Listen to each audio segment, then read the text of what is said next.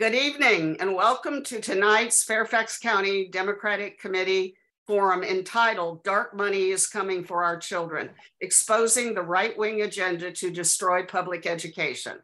This forum is being recorded. I'm Sandra Clausen, the forum moderator and FCDC National, Chair, National Affairs Committee Chair. Our National Affairs Forum examine matters of national importance for the purpose of informing engaging, and inspiring citizen action.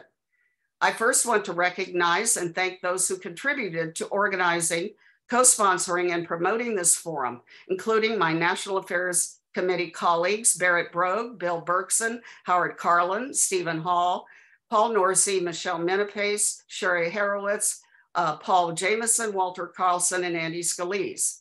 Although FCDC is hosting, this has become a statewide Democratic event. We appreciate the following Democratic, Virginia Democratic committees who clearly understanding the gravity and timeliness of this issue have joined us as co-sponsors.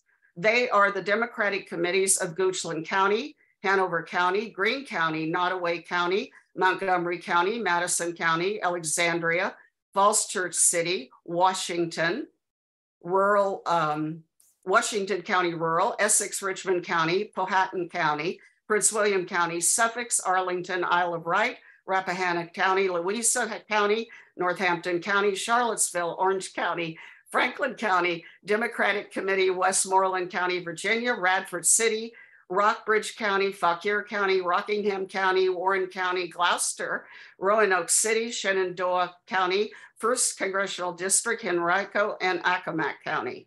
That's a lot.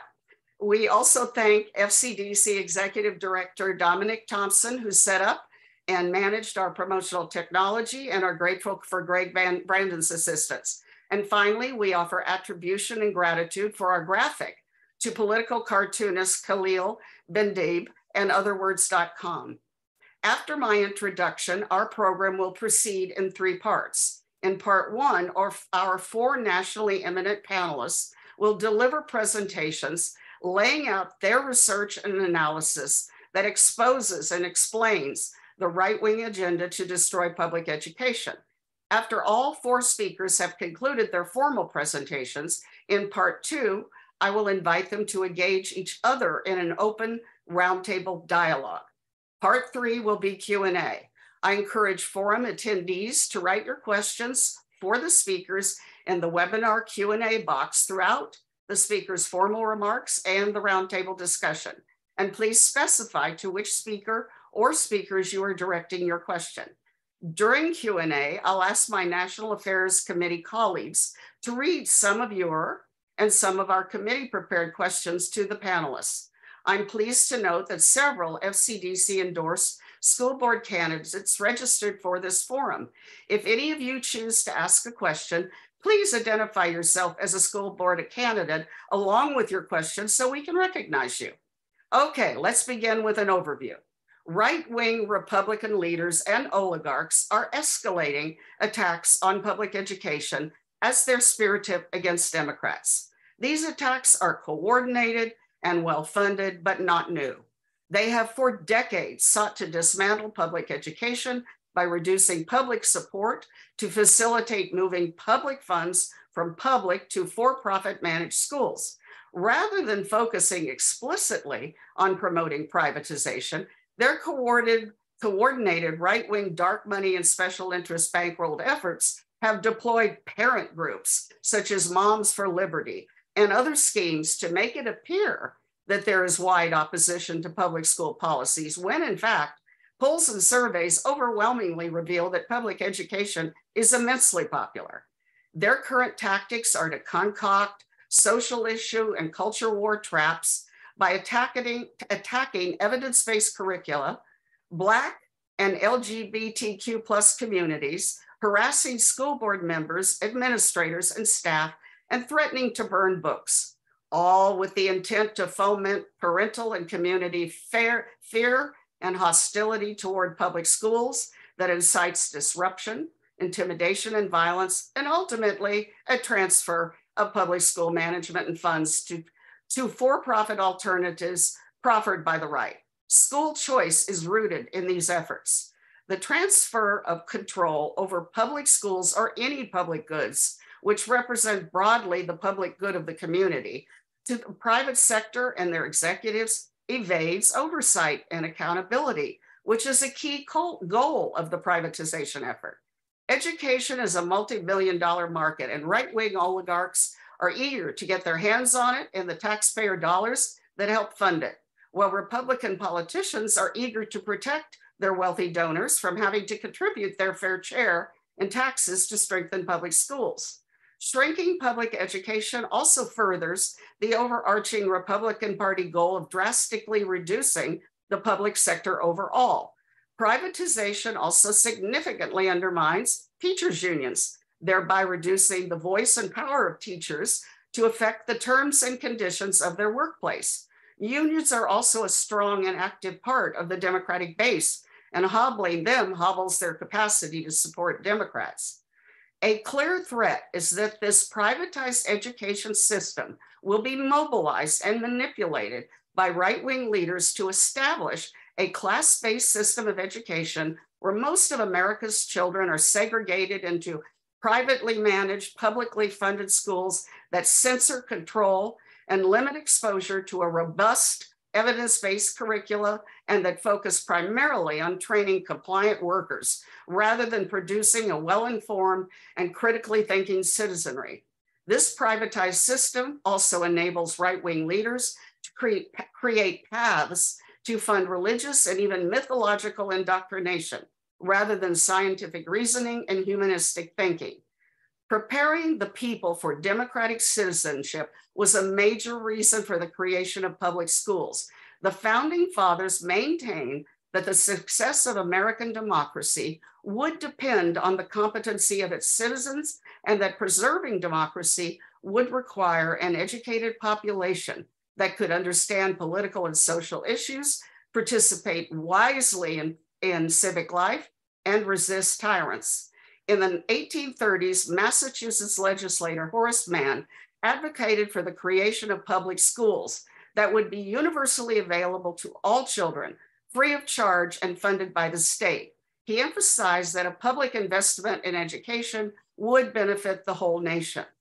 The original reasons for public schools, preparing people for jobs and citizenships, unifying a diverse population and promoting equity remain well relevant and urgent today. The Republican agenda to dismantle public education will reverse all of these.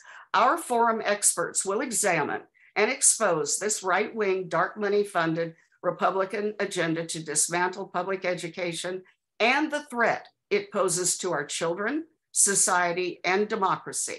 To begin the discussion, it is my privilege to introduce Professor Maurice T. Cunningham, author of Dark Money and the Politics of School Privatization. Professor Cunningham retired in 2021 as Associate Professor of Political Science at the University of Massachusetts in Boston. His work has been distributed throughout the Independent Media Institute and has appeared in the Boston Globe, Alternet, Tampa Bay Times, the Daily Progress in Virginia, Idaho um, Education News, New Hampshire Bulletin, the Detroit Free Press, and the Portland Press Herald, and in Diane Ravitch's blog. Professor Cunningham, we are eager to hear your remarks. Please go ahead. Oh, you need to unmute. unmute. Just a minute. Ah, I got it. I thought the moderator was okay. going to do it. Thank, okay. thank you. Thank you for that nice introduction. I, I do want to say my, my list of uh, publishing credits would have expanded somewhat, but um, a, a, a, publication just informed me they could not use my piece on Moms for Liberty because the, the I actually quoted the, the uh, uh, former president of the United States uh, about something he said about his approach to women. And then I also quoted a member of, of Moms for Liberty. And, and both of those quotes proved to be too uh, colorful, shall we say, to be printed in a family outlet. So that I lost my opportunity there. Um, Sandra, I want to thank you particularly for putting this together. Um, this is a great forum. Uh, I'm glad to be with my friends Diane, Lisa, and Jennifer. And I want to give a special shout out to somebody in Virginia who uh, uh, really uh, works hard, takes the incoming and fights back. And that's my friend Vanessa Hall. i know she's out there and I'm glad we can be together uh, today, even just on video. Um, Sandra's right. This is really a fight. It's a, it's it's a it's an attack on democracy for all the reasons she spoke about with regard to education. Go to getting to democracy. The path through that is public education. It is unions. It is a deprofessionalization of what teachers do. Uh, a direct attack on public education. And, and what do the funders want out of it? Well, they don't want to pay taxes for uh, uh, other children's uh, uh, other people's children to learn. Uh, they want to keep their own taxes low. Um, th- that's clear. It's clear in the research. Uh, and some feel it's a great opportunity to make money. Um, you know, Rupert Murdoch said it was a $500 billion uh, market. The late John Walton of the Walton family said it was a $750 billion market. And so there's a lot of incentive there for that. And as we see with some of the folks um, uh, attacking uh, uh, schools, including Moms for Liberty, we'll talk a little bit about them, it's a project of the Christian nationalist right, which had a big victory today in the Supreme Court, by the way. Maybe we'll get to that. The affirmative action case is really a case uh, in which the court panders to its constituency in the Christian right and also panders to its constituency um, among uh, the oligarchs who think they got here, even the even the ones who are heirs of great of great wealth think they got there on their own merit. Um, so that is looming out there uh, as well. Uh, we'll talk about uh, a few other organizations. What I want to mention, a couple I want to mention right now uh, uh, at the beginning is is called the Council for National Policy. It is a sort of clearinghouse and directorate of right wing organizations. Uh, it was founded by several uh, right wingers, including a guy named Morton Blackwell, who also founded the Leadership Institute. I'm going to be talking about them. Um, but ultimately, it's an attack on democracy, not just public education, but on, on, on democracy. So before Moms for Liberty got started on all these sorts of things, I was working um, uh, uh, like seven years ago in 2016. I got interested in an attack on uh, uh, public schools in Massachusetts. It was it was a charter school ballot question, and uh, what piqued my interest was the amount of dark money that uh, was reported to be coming into it. I hadn't really worked a whole lot on dark money then, but it was so much money. I know a lot about Massachusetts politics. And I thought, well, this is going to set all kinds of records. It'll shatter records in Massachusetts. And who has that kind of money? And I found out they didn't have to tell us. Well, I said that that's just wrong. That's anti democratic. People have an absolute right to know who's paying to influence them. And that set me down my path uh, to groups like what I now call neoliberal groups, because I have to distinguish them from the groups that have arisen since 2021. Families for Excellent Schools, Educators for Excellence, and a group called National Parents Union. And I mentioned National Parents Union because the, the leadership of it is kind of an outgrowth of Families for Excellent Schools in some ways, and from an organization started right after the defeat of the charter school proposal in, in, in 2016, um, a group called Massachusetts Parents United that was funded by the Walton family. Okay. And the thing that's most, one of the things that's most interesting to me about National Parents Union is it is every bit as phony as all these other groups. Um, but the National Parents Union, their first year of operation was 20 20. And who do you suppose was their biggest contributor? It was an operation called the VELA Education Fund. What's VELA? It's really a joint venture of Charles Koch and the Waltons. So here you have Charles Koch giving money to, to, to this operation. It's a neoliberal. It presents itself, the public face of it is, is people of color, and you've got Koch funding it. I'll tell you why that interests me, because Koch is also funding the far right on, on in this okay? Parents Defending Education, a far right ally of, of them. So they go about it differently, the far right operations and the neoliberal, but the ultimate goal remains the same for the Waltons, for Koch, and that is to bring down public education, open it up to free market solutions, okay? Now, all right, so there's a little bit about why I get into this. And then in 2021, all of a sudden, Parents Defending Education was out there, Moms for Liberty was out there. Um, if you're paying attention to Moms for Liberty Conference National Summit, called the Joyful Warriors Summit because they're also joyful. Um, I could go on. We we I could do two hours on that alone. Uh, you may have noticed in the news lately as it, as the press has begun uncovering that uh, their leaders and their invited guest speakers keep citing Hitler uh, as a source with great admiration. Um, you may have heard that despite their strong stand in favor of sexual propriety and, and protecting our children from words like cis and, and, and, and queer, right? That tomorrow night's, uh, tomorrow afternoon's four o'clock speaker is a serial sexual abuser, the guy who kept me from getting published yesterday because of the language, because of quoting him, right? And has a $5 million judgment against him for sexual abuse. But this particular individual is welcome uh, at the Moms for Liberty uh, uh, Joyous Warriors Summit. And of course, you know I'm talking about Donald Trump, okay? Um, Moms for Liberty is a, uh, well, let me say a little bit how I kind of spot these groups at the beginning. National Parents Union, Mass Parents United, uh, Parents Defending Education, uh, Moms for Liberty, and others, they all have the same creation story. And the creation story goes like this. Several moms get together over the kitchen table and they discuss what they think are the shortcomings of the schools their children go to. And they resolve to join together and try and do something about what they consider the, to be the inadequacies of the public school system.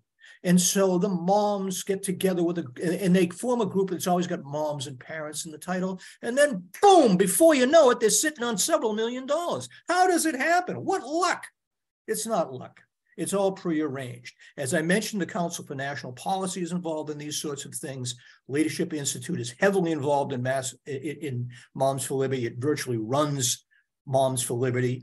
Um, and again, the head of a, that is a guy named Morton Blackwell. Now, you're not going to see Morton Blackwell out front at the National Summit because Morton Blackwell is 83 years old. He's been around so long, he was a Goldwater delegate. Instead, you're going to see suburban moms. But behind, you know, it's like behind the curtain, like the Wizard of Oz. Pay no attention to the man behind the curtain. There's Morton Blackwell pulling the strings. Okay. So that's what we that's what we're really seeing. Uh, and the involvement of Blackwell gets you to the Leadership Institute, it gets you to the Council for National Policy, and it begins to fill in the picture of who these folks really are.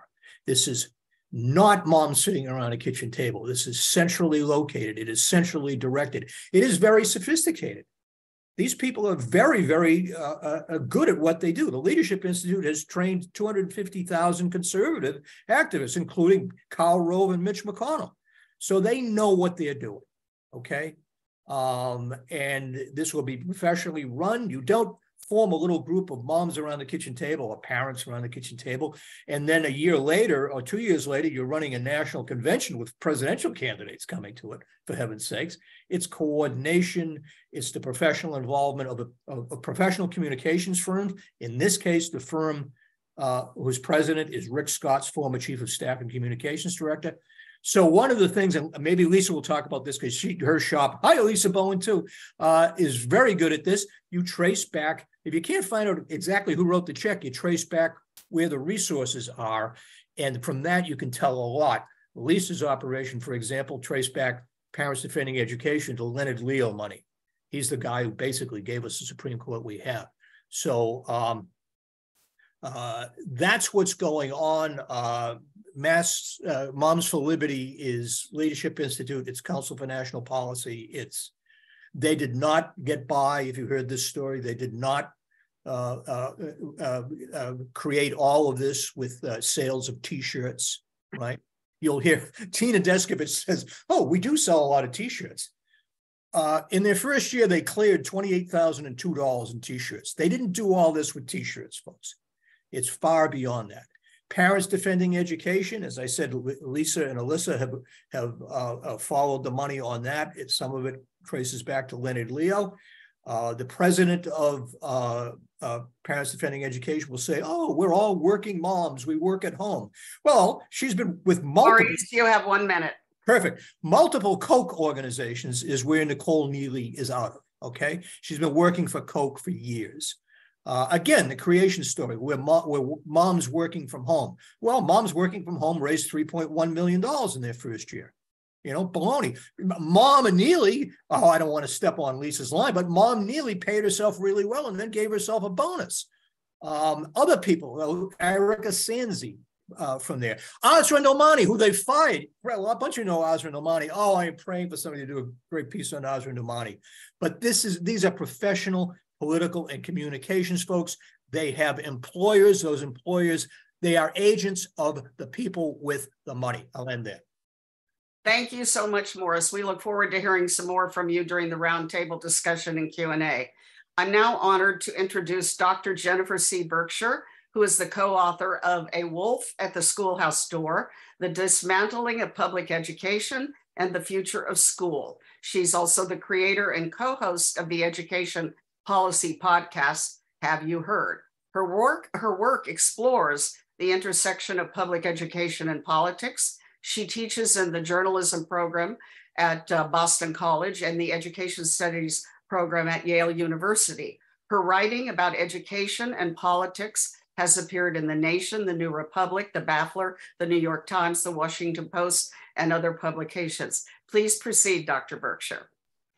Well, thank you so much. I'm thrilled to be here. And I mean, I have some big shoes to step in thanks to Mo Cunningham. I'm here in Massachusetts, so I feel like I can I can call him Mo. Um, so I, I am gonna share some slides with you. Here we go. All right. So we just heard um, a really helpful and informative overview of some of the what that is is driving the current push to privatize public education and it's so important to recognize the extent to which these are not actually just mom groups. But what I want to focus on in my 12 minutes, and Sandra, please step in when it's time because I get very excited when I talk about this stuff. I want to talk about the why that's motivating this vision. And as Sandra mentioned, I do a podcast and I also co wrote a book. My collaborator is an education historian. And I really didn't know that this was a profession when I was thinking about what I might like to do when I when I grew up some time ago. And it turns out to just be the most useful person to have on speed dial because whatever is happening out there, I can call Jack Schneider and ask him two questions. And number one is Has this thing that we're seeing right now ever happened before? And question number two How did it end? And so the first thing that we need to start out by acknowledging tonight is that what we are seeing unfold around us in Virginia and across the country has absolutely happened before. So there's a slogan very popular right now. And I'm imagining that many of you have heard it, especially those of you who are running for school board. And the slogan is fund students, not systems. Well, the original version of fund students, not systems took place right in Virginia, and it was a response to Brown versus Board of Education. And this played out all over the southern part of the US, starting in the lead up to Brown when conservative elites recognized that the days of being able to keep their schools segregated were numbered. And so instead, they pushed for publicly funded private education. They pushed for a system that would fund students, not systems. And what's so important about this is that they received basically a constitutional command that said, you know, that the Constitution it the constitution requires a level of equality that's what brown versus board is and their response to that was no thank you Instead, we're going to set up a private system for the very reason that the Constitution doesn't govern it. And so I want you to remember that, that inequality was part of the original intent. And as we watch what's playing out around the country in state after state, where politicians are enacting sweeping private school voucher programs and reciting that program, that same slogan, fund students, not systems. Remember that inequality was the original intent, and we have to keep that in mind today. So, what does that mean? I took us back to the 1950s already, but we need to actually go further to understand what it is that the right is so worked up about. And I am sure that for millions of reasons, you all really have the sense that there is this effort to roll back progress. And often it can be really, you know, it can be hard to just keep up with the sheer deluge of, of headlines. And I'll give you one that you might not have thought about in the context of what we're talking about tonight.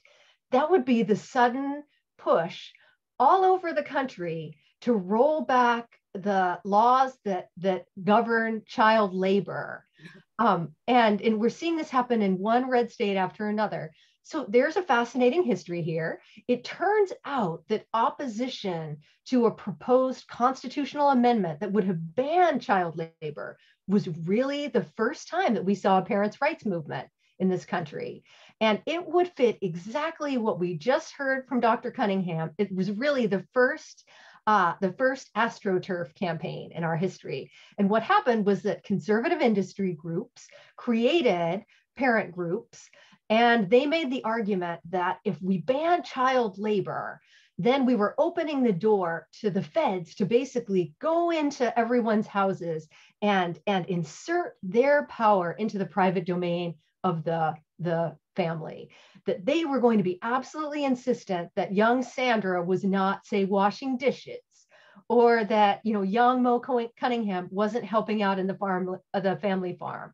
That that that was how extensive the the reach of the feds was going to be. And just like now the anxiety of parents was real right? There were all kinds of legitimate concerns about where the the line between government overreach and family authority begins, um, where, it, where that line should be. But what you saw happen, just as you saw today, was that powerful conservative groups saw that anxiety as an opportunity. And what they really wanted to do was to usher in an era that was as unregulated as possible. So here we are today, and the focus of so much of what we're seeing is in the is in the schools. And I don't have to tell you that in, in Virginia, because in many ways, it was your governor's election that really set us off on our current moment of parental rights. We have these, we see this happen, you know, decade after decade, but it was really Youngkin's campaign. And what I will insist in our roundtable was a, a pretty a pretty horrible misreading of what happened in Virginia, but that set us on our current path. So why the focus on schools? Well, in her introduction, Sandra, Sandra really laid a lot of it out there. We spend a lot of money on schools. And if rich people didn't have to pay taxes, that would mean, you know, we could spend a lot less on schools. Some of you have probably seen this graph before. It is a favorite. It comes from the Libertarian Cato Institute. Betsy DeVos used to carry around a copy of this in her Birkin bag. and and the reason that that libertarians and conservatives are enamored of this is that the, it shows that line going up and up and uh, we see achievement basically remaining flat. Well, what it doesn't acknowledge is that the reason that we spend so much money in this country is that we actually have the broadest understanding of who deserves an education of virtually any country in the world, right? That think about how our understanding of what kinds of kids are deserving of an education, how that has expanded over the years. And that back in the day, if you had a child with special needs, you were pretty much on your own. And now, you know, I, I had the real privilege of working for a year in a school for students with profound special needs. And I came away with the most just intense respect for the people who do the work and also a real understanding of how expensive it is to provide kids with a lot of needs uh, with the kind of education that they deserve. And so you hear this, you see this graph all the time, and it's really to make the case that we should spend a lot less on schools. In fact, the vision that is being the, the sort of logical endpoint of where we're headed right now is one we've already seen. This is a picture of what was known as a pauper school. And the idea was that the burden of paying for education rested on the shoulders of families themselves. You all are very familiar with this vision. We call it higher education in this country, right? It's up to you to decide how much you want to invest in your individual child. What happens to the other kids? Nobody cares. So that was actually our vision. And we called them pauper schools. We got rid of them for a reason because it was a disaster. And that was a big part of why we came to have public schools in the first place. Okay, so as I mentioned, it can be really hard to keep up with the sheer deluge of headlines and to think about, like, you know, like how does today's bad news story, the Supreme Court decision, for example, relate to something like the rollback of child labor or the a push to privatize schools or think about there was a Republican candidate who was thankfully defeated in the primary, in the, in the recent Virginia primary. He was running in Shenandoah County. He was arguing that the provision of the Virginia Constitution that requires public education should be eliminated and that $10,000 should be given to parents themselves. Fortunately, he only received 2.5% of the vote. But the reality is, we are hearing language like this all across the Republican Party. You will hear language at the Moms for Liberty Summit that starts tomorrow that creeps right up to this line because the vision that they are proposing is one of radical individualism in which only your child matters, no one else's does. And it guarantees a level of inequality that is, you know, absolutely, I think, unacceptable. Okay, Nothing will make this country more unequal than privatizing our public schools. If you don't believe me, go to a country where kids have to pay fees in order to attend public schools or what, what uh, stands in for public education. So there is really nothing, there's no conclusion to take away from what's happening today. The sheer level of organization and the speed with which these enormous voucher programs are being are, are being enacted. And we'll talk about that a little bit more in the q&a just so people get a real sense of what's happening in places like iowa and arizona and florida you really the only conclusion that I can draw from what's happening is that the goal is actually to make the country less equal. And I really believe that that is the through line that connects so much of what we're seeing right now. So, what do we do? Well, obviously, I am reaching the end of my time. So, you're going to be left on the edge of your seat wondering about that. But I'm just going to leave you with one thought. We didn't just get into this because four moms sat around a kitchen table and then a year later they had a big check from the koch brothers. We got into this because we've lost the capacity to make the case for public education as a public good. And if you don't believe me just look at how skillfully your governor was able to play on the fears and anxieties of parents who were absolutely desperate to get their kids into the elite magnet school because that's what will put their kids on the path to the Ivy League. When you look at things like that, you realize how completely our rhetoric of public education as a public good has diminished. And what we have instead is a rhetoric of individualism, of competition, of choice, of my kid deserves this, and whatever happens to yours, well, that's your business. And if we're going to fight back, it's going to mean not only exposing things like who pays for moms for liberty and calling them out when they say and do something really one minute jennifer it means that we are going to have to get better at making the case for the absolute urgency of public education. We're going to have to relearn that rhetoric of the public good. And I'm hoping that some of that will start tonight. So thank you for having me. And I can't wait to hear the rest of the program. Thank you so much, Jennifer. Greatly appreciate it. Now, with admiration, I introduce our next speaker, Professor, there she is, Professor Diane Ravitch, a national legend who has been writing about American education for half of a century. She is a historian of education, an educational policy analyst, and a research professor who earned her BA at Wellesley and her PhD from Columbia University.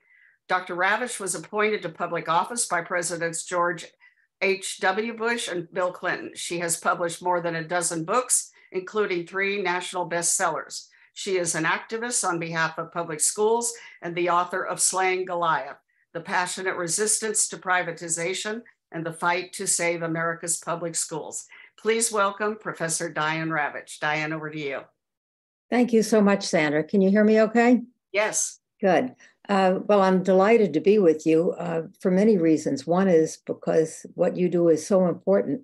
Uh, the Virginia State Democratic Party, I know, has taken a strong stand against the dark money that's promoting privatization. Uh, my wish would be that all 50 state Democratic parties uh, would do the same, because what we're missing right now is public awareness and also some um, pushback. Uh, and Jennifer spoke about that, as, as did Maurice uh, some pushback, first of all, the public exposure, because the public doesn't really understand what's going on. And secondly, the uh, the Democratic Party taking a stand. And I've been writing about this since, well, my first book on the subject came out in 2010. And as some of you may know, I have a, a had had a long career as a conservative voice in education uh, in favor of high stakes testing and charter schools, occasionally an article uh, for voucher schools. And all of my advocacy occurred before any of this was in place, except for testing. But when the No Child Left Behind testing came up short, I began to realize uh, it was not achieving what I had hoped.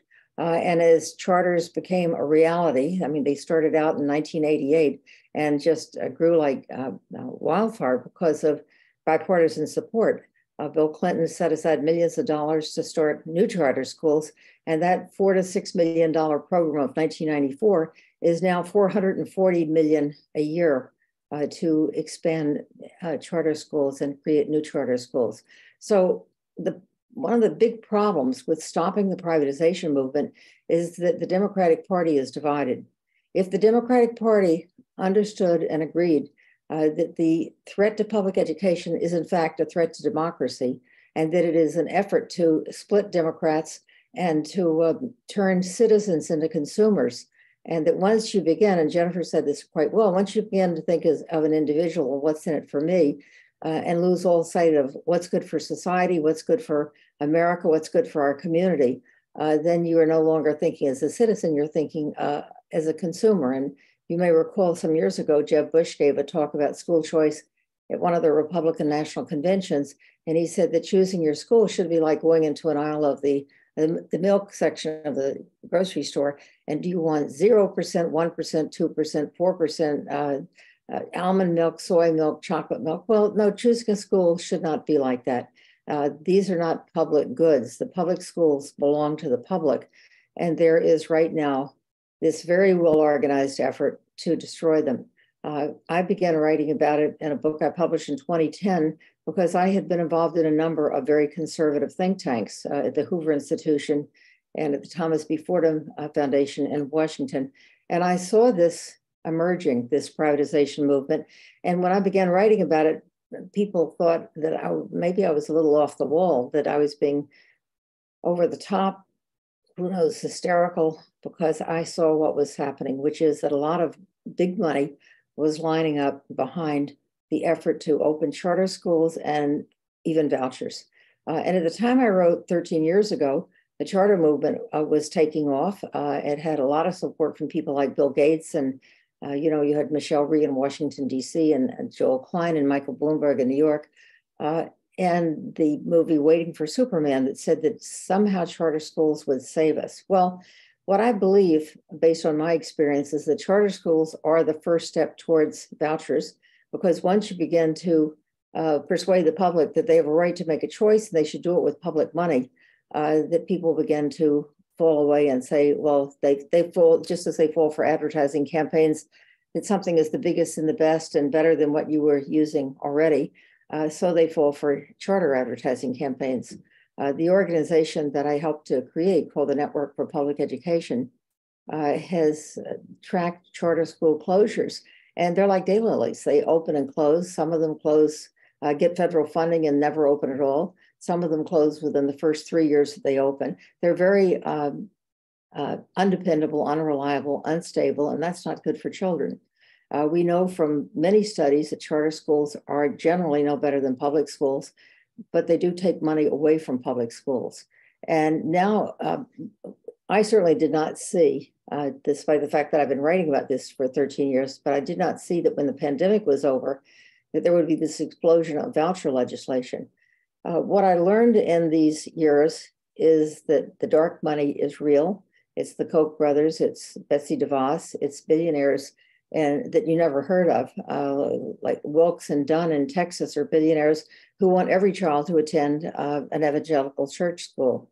Uh, America is a country that has th thrived in large part because we have this tremendous diversity, and we have been, at least in the last 50 years, trying to expand the tent and bring everybody in and give everyone a chance to be part of this great country. What we see today with the, Supreme Court and, and uh, the Republican Party is they find they play to people's fears. So there's too much diversity that we should all go to homogeneous schools. And one of the slogans I've heard from the governor of Texas and, and others is they want education, not indoctrination. And so, what do they suggest for education, not indoctrination? The children should get vouchers to go to religious schools. Well, in, in Florida, one, I'm sorry, in North Carolina, one of the schools there has a has a requirement that teachers have to know how to speak in tongues if they want to teach in the school. They don't need to be certified as teachers, but they need to meet the religious requirements. That's indoctrination, not education. So this is a very frightening moment, uh, as as I see it, uh, because this is a multi-pronged attack. It's uh, it's an attack against very wealthy people paying their share. Uh, they don't want to be taxed to pay for poor kids to go to school. Uh, and it's also an attack on teachers' unions. We hear all the time how terrible teachers' unions are. And the labor movement, I could go into a whole other talk about how the labor movement has been so important in giving people an opportunity to move from poverty into the middle class by having an assurance of their, their health care, their pensions, uh, and, and their wages. Uh, and the, the very wealthy in this country want nothing more at this point than to destroy unions and the last strong unions standing are the teachers' unions. And so they maintain this attack that the teachers' unions are somehow the great villain of education. Uh, and when they're not attacking unions, they're attacking teachers. And then they don't understand why we have a shortage of teachers. Uh, almost every state, every district that I'm aware of has a shortage, unless they're paying very high salaries, and most places are not. So we have this multi pronged attack. Uh, the goal of it is to cut taxes, uh, to stifle and eliminate, if possible, the teachers' unions.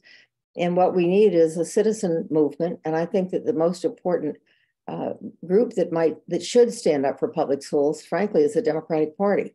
And as I mentioned earlier, the division within the party has hurt public schools. Uh, it used to be that the Republicans were for high stakes testing and uh, privatization and uh, there were even some who, like like Reagan, who wanted vouchers.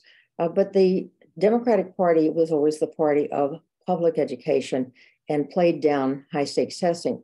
Uh, with No Child Left Behind, there were more Democrats voting for George uh, W. Bush's programs than there were Republicans. And when Obama produced his own program, Race to the Top, it was just like No Child Left Behind, only more punitive than race than uh, No Child Left Behind. So you have people in Congress like Hakeem Jeffries, who has a lot of charter schools in his district. He supports charter schools. Um, Michael Bennet of Colorado, the senator there, is a strong charter school supporter. And when once you agree that school choice is the answer, uh, that's a big problem. Uh, it's a problem because it undercuts your defense of the very nature of public education, which is that it belongs to the public, not to private corporations, that it should never be uh, for profit, and that privatization uh, really strikes at uh, democratic control of, of democratic schools. Uh, and so, in conclusion, I would say that uh, what I hope you'll do is to reach out to Democratic parties uh, and, and, across the state of Virginia, but, but especially in other states, because the, the rallying for public education has to be the grassroots rallying. And if we lose public education, as, as Maurice said, we uh, we're at risk of losing our democracy. There's so many attacks on democracy right now with uh, attacks on voting rights and uh, demands for censorship and book banning and these, these uh, uh, dark money funded groups who are attacking the schools and attacking teachers.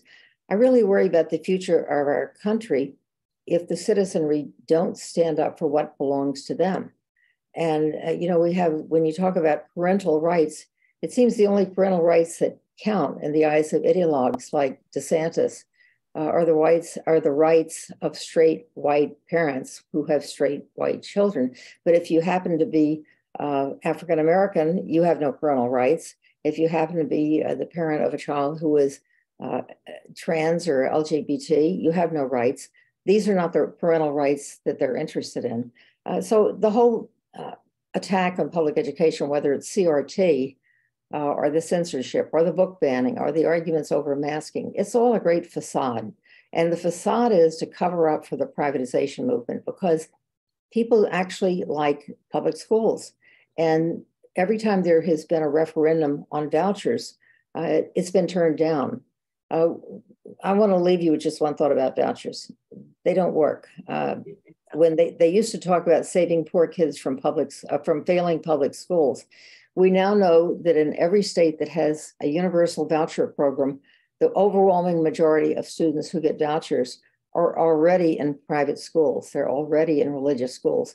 So what these uh, red state politicians are doing is creating a uh, an entitlement program for well-to-do families because people who have their their kids in a school that costs thirty to thirty-five thousand a year will suddenly get a windfall of ten thousand dollars.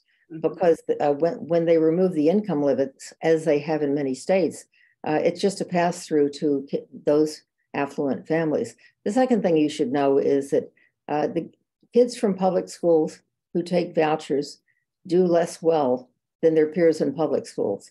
So you're really, uh, when you pay for a kid to leave public school, uh, you're paying for him to go to a subprime school. He's not going to be going to uh, the uh, top school in, in any of your cities or in, in Washington. He won't be at Sidwell Friends or, or any of the great schools in our country that are private schools because the voucher doesn't pay for it. What it will pay for, though, is a subprime, sub-quality school where teachers may or may not be certified. Uh, and in those states that have vouchers, uh, you will be paying for religious education uh, that is, first of all, inferior to public education, does not a school that does not have certified teachers or certified principals. And you know, as I first see, as I overlook this scene, I think to myself, don't these people have any patriotism? I mean, it it there, it used to be the case that we would look to public schools as the great unifying institution, the great American democratic uh, conception in which all people would have equal opportunity. But we underfund our schools, and the more we open charter schools, the more we fund vouchers, the worse off public schools are because they will be left with the kids that the charter schools don't want and the voucher schools don't want. And they will have the greatest proportion of the kids with high needs, uh, and they will not One be. One minute, Diane.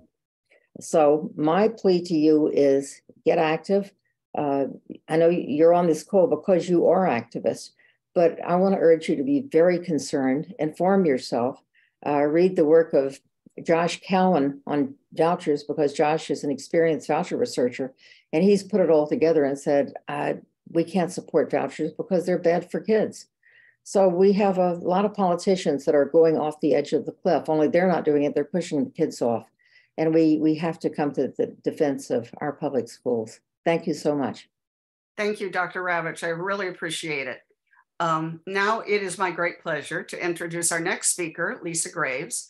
She's the Executive Director of True North Research and President of the Board of the Center for Media and Democracy. Lisa has testified before Congress and spearheaded several breakthrough investigations into those distorting American democracy and public policy, including, including ALEC Exposed, her research was featured in the Oscar nominated documentary, The 13th, and in Bill Moyers' The United States of Alec.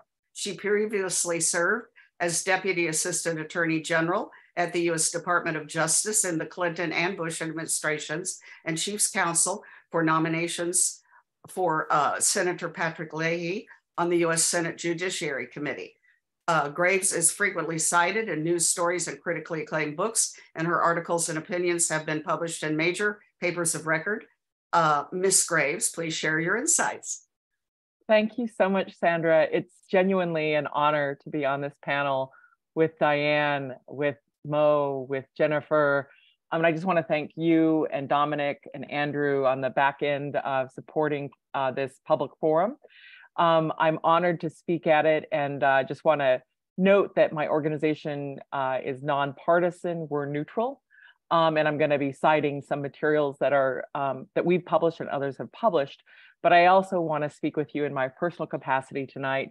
Um, I am, in fact, a Democrat in my uh, private life, and um, I uh, am very concerned about some of these trends, and I want to be able to speak uh, candidly with you and give you my personal opinion. So, um, first of all, I just want to um, uh, tell you I'm going to talk about this in two halves. So the first part is going to be a little bit of a retrospective. It's going to touch on some of the things that Maurice mentioned and uh, Diane and Jennifer. And then the second half, I'm going to focus a bit more on some of the current things that we're seeing.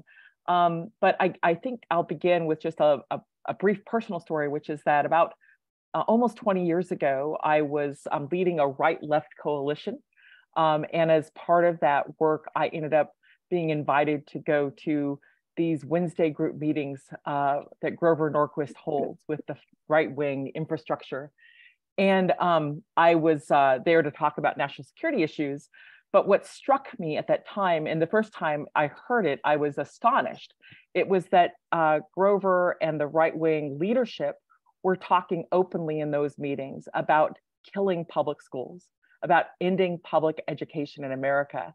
And at the time I first heard this, I thought it was so far fetched. I, I couldn't believe that this was their aspiration.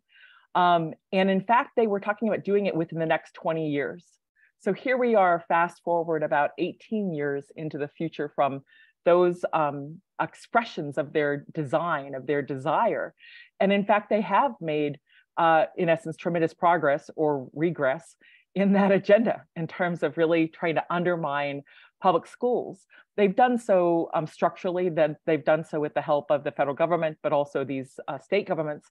Um, but they have also done so in ways that have not expressly made that goal clear. And as Diane mentioned, what we're seeing is a, a and right now is a, a large smokescreen in essence to hide that agenda um, because that that really is the aspiration. And I'll talk a bit more about that later in terms of what's happening right now. But what I want to begin with is um, to just um, affirm what Jennifer said about, you know, this this the roots of this are in this regressive sort of corporatist agenda, and it does go back to things that were not on my bingo card for horrible things happening in 2023, like passing laws to allow kids uh, to work um, to basically repeal child labor laws. That was a shock, and that is part of this agenda. It's an agenda that um, is represented by some of these very regressive right-wing forces that are trying to roll back a century of progressive laws, including around education and specifically around kids.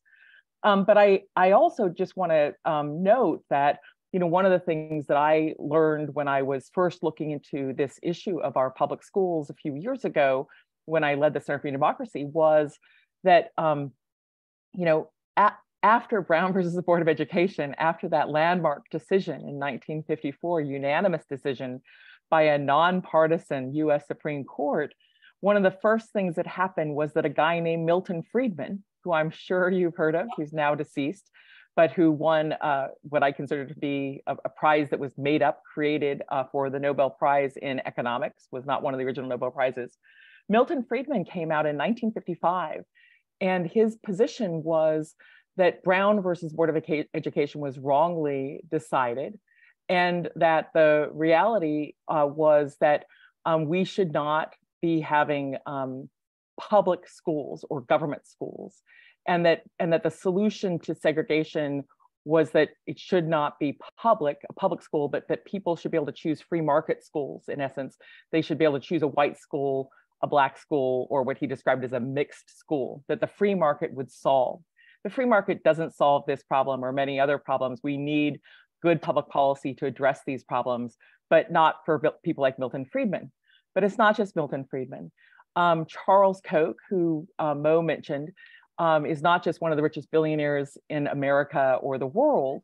He's also someone whose very first organization that he uh, helped launch was called the Center for Independent Education. And it was created to support the creation of purely private schools, in essence, in reaction to Brown versus Board of Education. Um, and uh, that thing, the Center for Independent Education, attacked a public education at every level, primary, secondary education, and universities. And the idea that Charles Koch and his right-hand man then, uh, George Pearson articulated was the idea that, you know, basically millionaires should not have to pay for the education of other people's workers. You can see these publications, they're on uh, our Substack site at True North Research. Um, and you know, one of the pieces, one of the big first things that this Center for Independent Education did was um, create uh, uh, a book. I'm going to look at it here. I'm not going to show it on the screen, but you can uh, you can look it up. And um, it's called the 12 year sentence. And it was attack an attack on the idea of mandatory public schools. It featured a child on the cover with like um, a, a mugshot. Um, this hostility to the idea of public schools that Charles Koch was pushing forward now 50 years ago runs deep.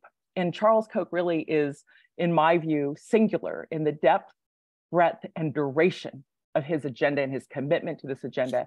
And the number of organizations like the Cato Institute, uh, which is the uh, you know the author of the graph, that deeply misleading graph that Jennifer uh, uh highlighted, um, and so many of these other groups have Koch funding, which are aligned with his vision a really um, this long-standing vision of destroying public education.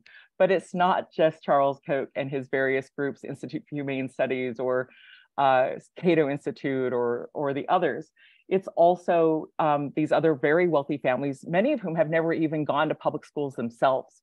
Uh, they didn't go, their kids don't go, uh, like Betsy DeVos didn't send her kids to public schools, uh, has total antipathy toward public schools, except for that she described before she became uh, the Secretary of Education under Trump, that she wasn't opposed to the idea of public education, just public schools, meaning she wanted those public dollars to be fed into the private sector, into private religious education.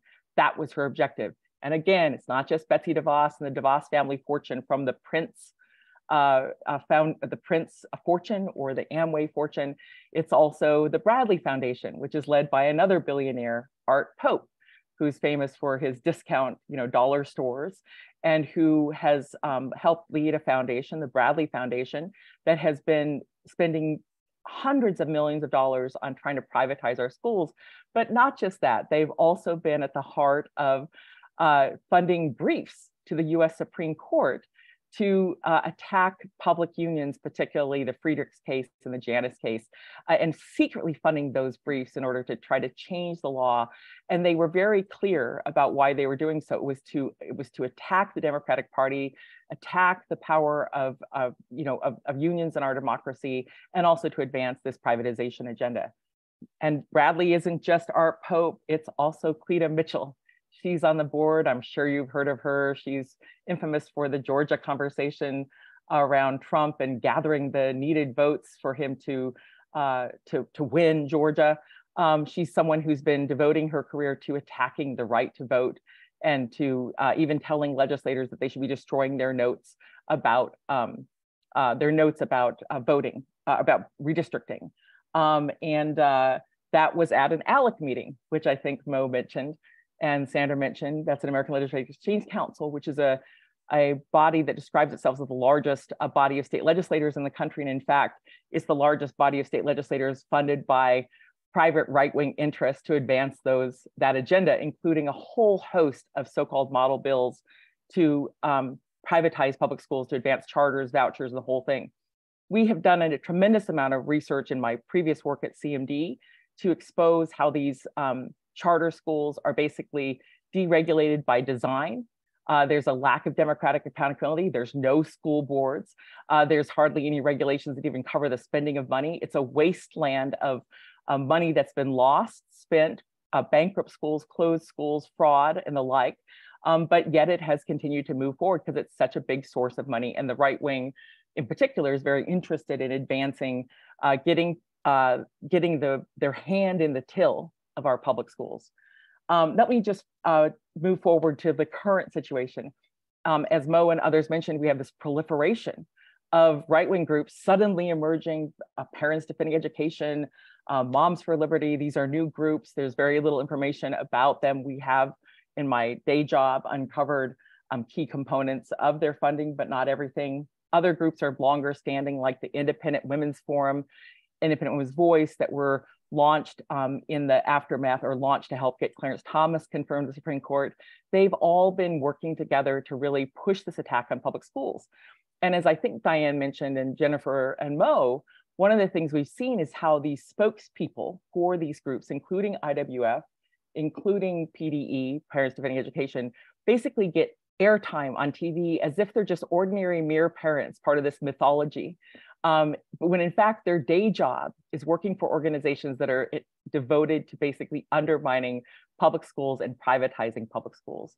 So there are a number of things that people can do in response to these groups. You can talk to each other about who they are. For example, um, as Mo mentioned, when we when we um, looked at the Parents Defending Education, this is an article in Truth Out, what you could see was most of its funding uh, was not from t-shirt sales or, the sale of goods um, or even parent membership. They had nearly in the first 990 that we could really see a full budget of nearly $3 million. Only about $70,000 of that came from member dues, meaning parents. The re remaining, you know, 2,930,000 plus came from super rich people who have antipathy toward public schools. But not just that, uh, Nikki Neily paid herself a bonus almost of the exact same amount as the membership dues by those parents. People should know that. They should know who is funding these groups that are attacking our public schools, attacking school boards. They should know whether their day job is working for an organization attacking public schools or trying to exploit the pandemic to attack public schools. They should know whether these uh, people are supporting this charterization or profitization of our schools uh, where there aren't certified teachers, where we don't have standards for the spending of our tax dollars, where we don't have accountability through uh, the responsibility of public uh, school boards or school superintendents. Um, these are vital facts, and they're facts that you have a right to know, in my view. And also, um, there's a wealth of information from Mo's writing, from Diane's writing, from Jennifer's writing, and more to help in, help you. One minute, Lisa. Yeah, to help you inform your fellow citizens, your fellow parents about what's really going on here and how they're using these culture wars to try to distract and divide us as they seek to dismantle our public schools. Some of the people who've even spoken out or been featured on the news didn't even have parents in the public schools. Um, and that's aside from the other behavior we've seen, this harassing, almost stalking behavior by some of the people associated with some of these groups. Um, so I'll conclude by saying there is a new resource that uh, my organization worked with Heal Together to develop um, that provides some tools for how, how to respond when you encounter these groups um, in your local school district, questions that should be asked, questions reporters should ask about them, so that all people can be more informed about what's going on and how vital it is that we save and preserve and strengthen our public schools as essential to our democracy and how we actually need to have more funding, more support, and more ways for kids to thrive um, uh, pursuing a range of skills and a, a range of uh, opportunities, extracurriculars, not just the testing regime that's been crammed down, but really help our kids thrive. And we can do that not through uh, religious indoctrination or having our money spent, our tax dollars spent on religious indoctrination through private religious organizations or schools like Betsy DeVos wants, but through actually ensuring that those investments are in all kids in universal education through our public schools. So thank you so much for having me, Sandra. It's a joy to be on the panel. Thank you very much, Lisa. And by the way, to those who are attending our webinar, uh, the panelists have offered, like Lisa, to send some links and articles for you to review. So when the YouTube video is finished and I send to all of you the, the link to that, I'll send some of these uh, resources Lisa and the others have mentioned too. Okay, uh, we're now moving into part two of our program. And I want to invite our four speakers to kind of engage each other organically in a roundtable dialogue. As the moderator, I'm mostly going to try to stand back during this segment, but I'm going to let the speakers know when it's time to wrap up. Uh, given uh, during your discussion, uh, panelists, would you please take a moment to reflect on how today's extremist Supreme Court decision on affirmative action in higher education how that relates to our forum themes. Just take a minute. I know there's a lot else, but it clearly does. And I know you'll have something to say. So over to the forum roundtable. Why don't you start, Lisa? Why don't you start us off? The decision that just came down today on affirmative action, um, striking it down, you know, really is a blow toward efforts to reconcile and address the ongoing uh, structural racism that we see in American society that most people understand in terms of opportunity, in terms of trying to make sure that we have um, op ample opportunities for people to thrive in uh, university settings. This is a long-standing objective of the right wing in the United States, and it was accomplished in part because of the way the Supreme Court was packed with the help of Leonard Leo, who was mentioned earlier in this forum. Uh, and as Senator Whitehouse has so clearly um, described this court capture um, operation of Leo. So this is, um, you know, one of those sort of right-wing reactionary decisions that they were hoping for, working for, and a number of the groups that were involved in that case in the amicus briefs are again part of this right-wing network that is deeply connected to Leonard Leo's dark money money machine, Charles Koch, and this whole um, broader sort of behind the scenes shadow effort to remake our law, to, to remake our rights and, and destroy um, protections um, that many Americans really hold dear, including uh, the opportunity to have schools that are really vibrant, thriving um, places for people from all backgrounds where they can come, be admitted and succeed, um, and not just have um, the residual and continuing effects of some of the racism in American society that continues uh, uh, make its way into our uh, uh, university education system. So I'll, I'll pass the baton to others. Okay, I'll, I'll jump in because I have a slightly different take on the decision today. It was, I think everyone expected this decision and they expected it would be six to three, maybe five to four, but certainly uh, this was not a surprise. And I'm inclined to believe uh, that uh, what affirmative action has created is a professional class of people of color, a professional class of, of teachers, of, of people in every kind of professional role. And the university, well, first of all, most universities in this country, most colleges in this country accept everyone who applies. So the affirmative action ruling will not have any effect on them because everyone who applies gets in. For the elite schools, their culture has become so uh, inclusive and so devoted to having a diverse student population that I think that most of them will shrug this off and continue to have diverse student populations because they care about it. Uh, I think of what happened in my alma mater. Uh, I went to an elite women's college. They accept maybe one out of every four applicants, or one out of five, one out of three, I don't know. But there is a competition. What does the end of affirmative action mean? Well, we have an African American president and the director of admissions is an African American. I don't think there's going to be any change in the ethnic uh, and demographic profile at Wellesley College. Uh, the new president of Harvard University is an accomplished African American woman who is a social scientist. Uh, I suspect that without affirmative action, Harvard will continue to be ethnically, demographically diverse. I think this is true of most of the really great uh, elite institutions. There may be some that will say, well, now we can become all white and Asian, but I frankly don't see that happening because the norms have changed. And that's something that the Supreme Court can't roll back. I have a slightly different take, and I'll warn you in advance that it's a little bit more, it's a little darker. And so after I after I say this, you might want to refresh your cocktail um, because it is a little my my view. I read and listen to way too much of what the right says.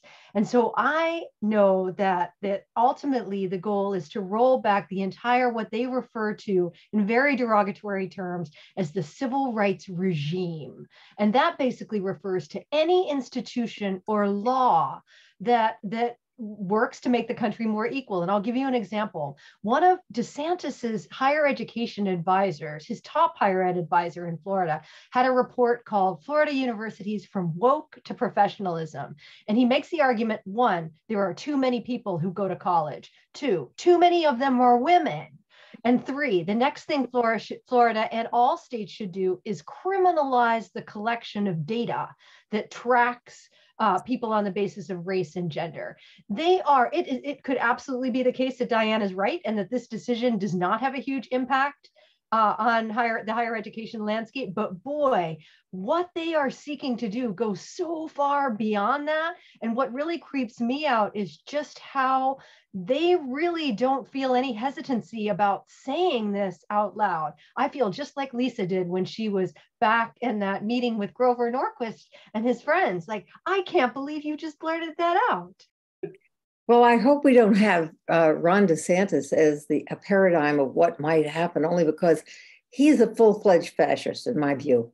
Uh, I mean, I could come up with chapter and verse of 30 things that he's done to try to destroy academic freedom. He's already eliminated tenure uh, in higher education, and they're going to be screening uh, anyone who comes up for tenure uh, to make sure that they're not teaching African American studies, they're not teaching gender, they're not teaching this, they're not teaching that, and they he is taking control of higher education in Florida in a way that is, frankly, I can't think of another word but fascist. Um, and I, so far, uh, I guess Texas is the one that's right behind him, but that is not yet the Republican Party platform to destroy higher education, although it might become. I, I do think it's moving in that direction, I, I mean, I hope I hope you're right. I, I think it is moving in direction. I don't think there's a lot of interest in having well-educated uh, populace, and I particularly don't think there's there's there's an interest uh, in having a, a populace that uh, reads great English literature, reads poetry, certainly does not read history, um, and and and uh, and so I think it's troubling. I think to the extent that education of any kind can prepare you for the for the workplace um, where you can become a middle manager at Walmart or or work in Koch industry somewhere is is okay. But things that have you questioning um, what this country has been about and what it professes to be about, I think, uh, are not well. I you know I I taught at UMass Boston for many many years. Um, and I can tell you, I mean, UMass Boston is at no risk of seeing its its its diverse population uh, um, affected here. Um, we had over 50% uh, diversity and, and that will, will stay. But I will say, you know, you hear often that uh, what's lost in the classroom if you don't have uh, diverse uh, affects uh, diversity affects white students as well. Well, it affects white professors. I learned a whole lot from my from my African American students and my Latino students, all of my diverse students. It, it improved me and certainly improved my teaching. And uh, if this is at all, I hope again, I hope Diane is right. But if this is is affected uh, at universities across this nation, there's going to be a high price to pay for it.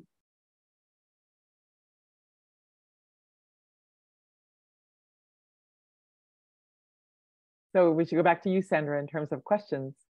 Nope, I'm still leaving this organic.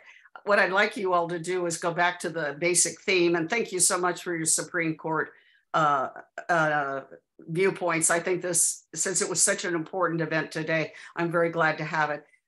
But you all in each of your presentations hit on the key themes. And I know, Jennifer, you wanted to talk a little bit more about the, the issue of unions. Well, only because you had specifically asked me to mention unions. And then I realized afterwards that I had forgotten. And I just wanted to emphasize, you know, like so often the, the critiques that we hear about teachers' unions, which we were reminded of are the largest unions that we still have. The, the story that you hear again and again is that they are the impediment to academic success. But the real reason why the people and groups we've been hearing about don't like them has very little to do with academic success. It's because they are the largest and most effective organizers on behalf of a strengthened social safety net.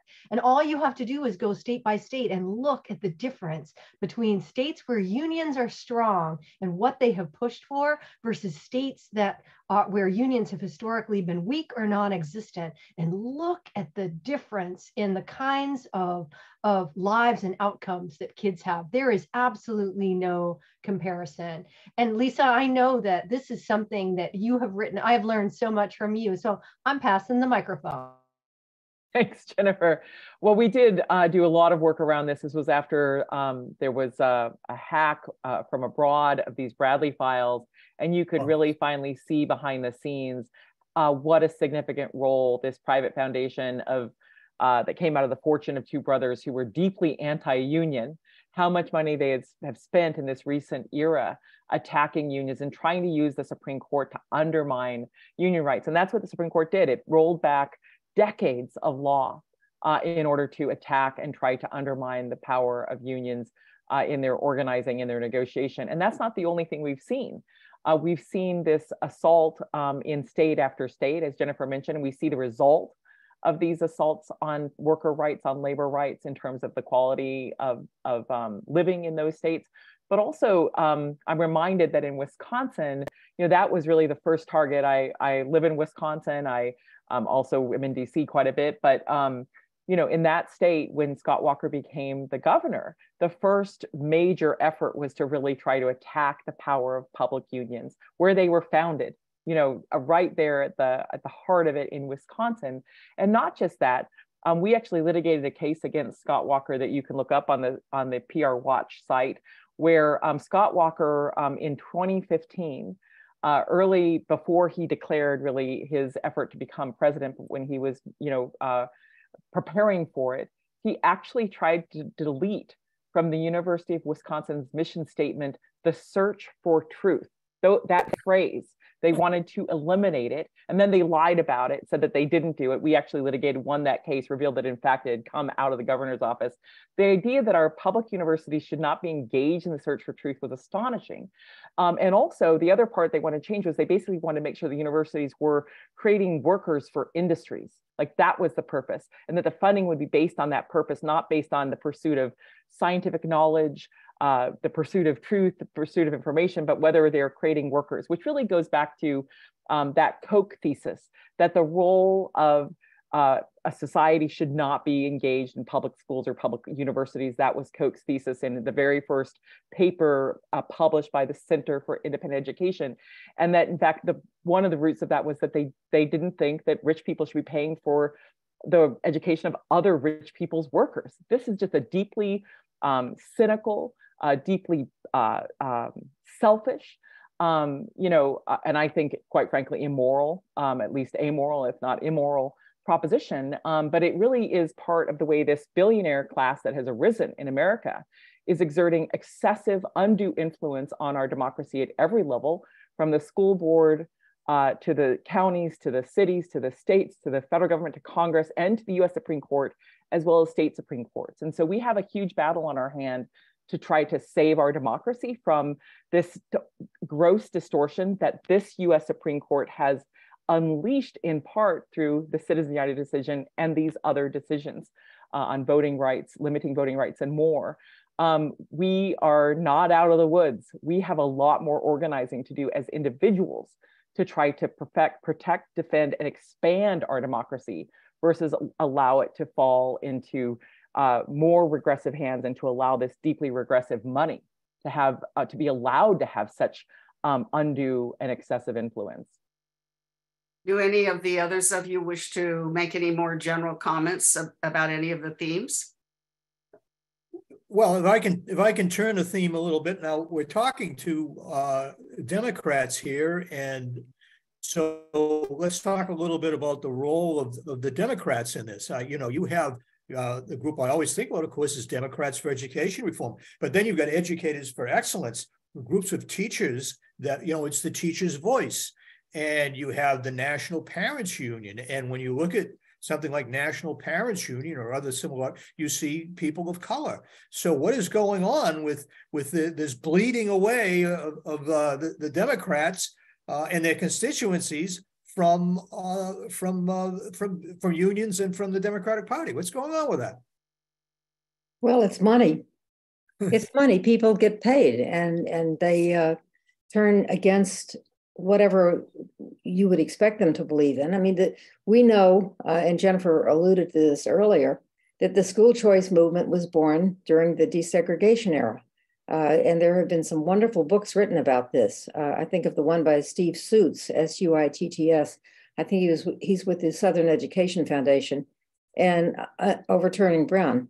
Uh, and Steve Stephen Suitts sh- shows how so many laws were passed in Southern states for private academies uh, to be publicly funded, and those private academies today would be considered charter schools.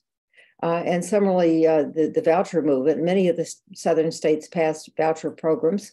And uh, the intention was that white students should be allowed to get away from going to school uh, with Black students. So the, this is very much a movement that was born a, in opposition to desegregation. So it's a great hoax that these folks have engaged in to say that school choice is a civil rights issue of our time.